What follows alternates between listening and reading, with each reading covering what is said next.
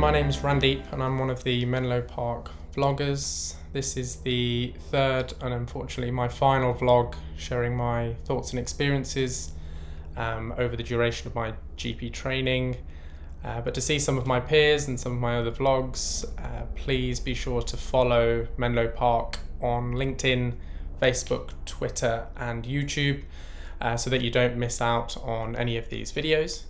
And if you have any questions for me, please pop them in the comments below and I'll be sure to try to answer them. So today I thought I would answer the question how do I deal with stress as a GP trainee? And I think it's worth starting by saying that GP training is by no means a walk in the park. It's a very condensed learning journey, and in, there's an incredible amount of firsts compared to the hospital environments that we're used to.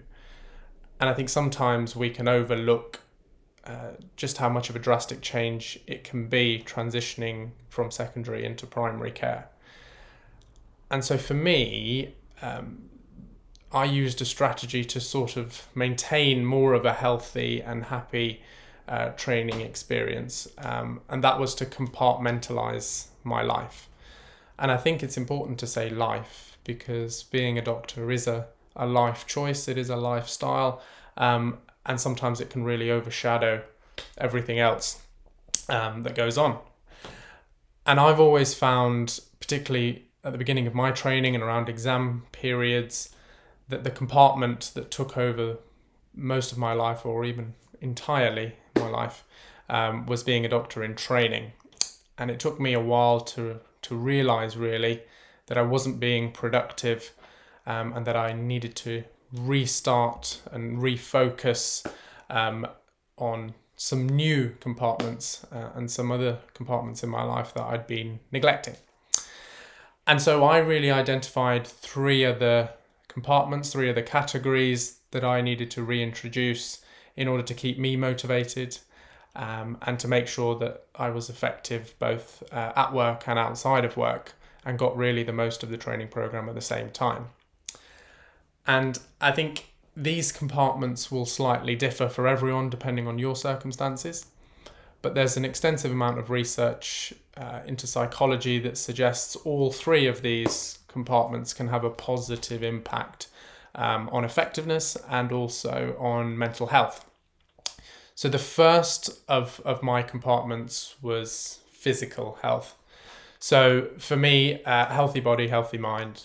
So whether that's exercising regularly, uh, whether that's nutritionally eating a well balanced diet, um, or whether that's getting good quality sleep.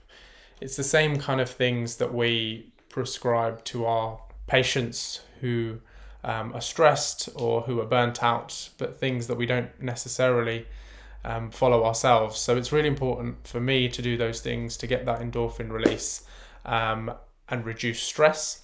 So that's physical health. The second is social and relationships. So I think it's important to maintain relationships um, and a social life outside of work. Uh, as doctors, we often miss out on a lot of uh, these opportunities and socials and events because of working hours and training commitments. And so we really have to make that extra special effort um, to keep that alive and to have that release and have that support network. Um, and I think everyone will require some support uh, in some form or another during their training. So that's quite important as well.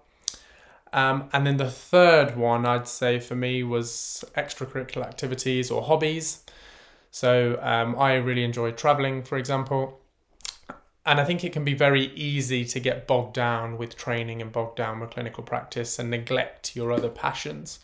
Um, and it's really important to keep those other passions alive and keep those parts of your brain active um, in order to really exercise that enthusiasm and, and keep your interests alive outside of the working environment.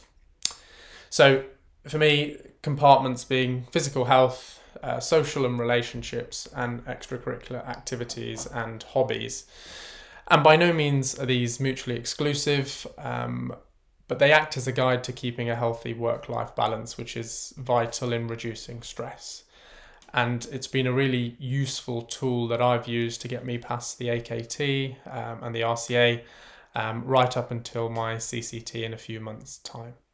So I hope you've enjoyed my vlog uh, and it's been a pleasure sharing my thoughts and experiences with you all. Thank you.